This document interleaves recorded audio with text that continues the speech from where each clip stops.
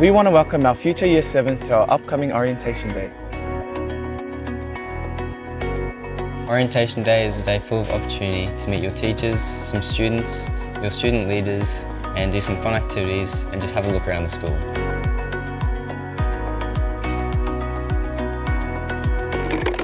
We understand that you guys might be feeling nervous, but I remember on my first day I was so nervous too.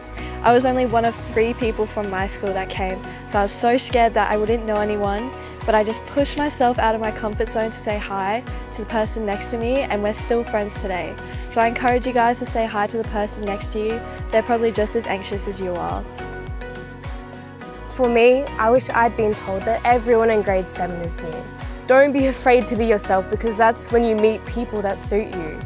Just talk to the person next to you, like Nicole said, and don't be afraid to get out there, play some handball and get involved. We have a wide range of fun subjects for you guys to experience such as food tech, dance, visual arts, drama and music.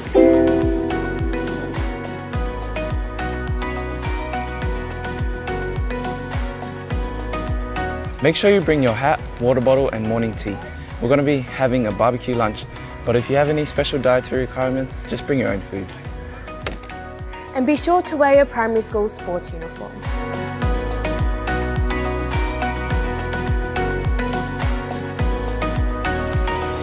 We can't wait to meet you guys. Oh.